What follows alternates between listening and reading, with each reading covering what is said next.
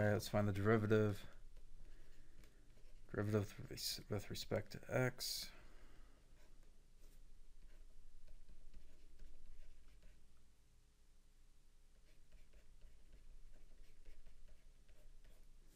Alright, so we end up with is um, y prime sine of x squared plus y times 2x cosine of x squared is equal to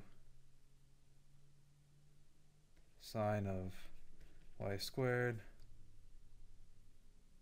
plus 2y y prime cosine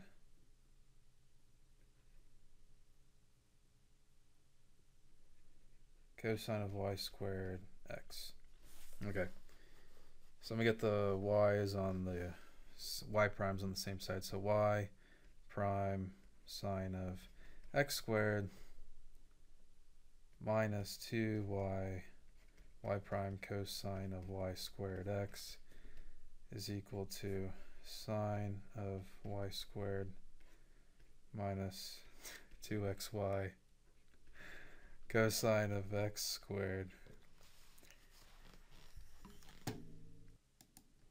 Okay, so I'm going to factor this out.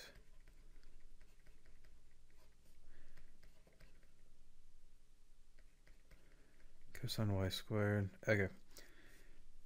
Um, is equal to sine of y squared minus 2xy cosine of x squared.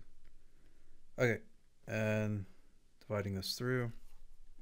So I'm end up with y prime is equal to sine of y squared minus 2xy cosine of x squared all divided by sine of x squared minus 2yx or xy cosine of y squared. That's it.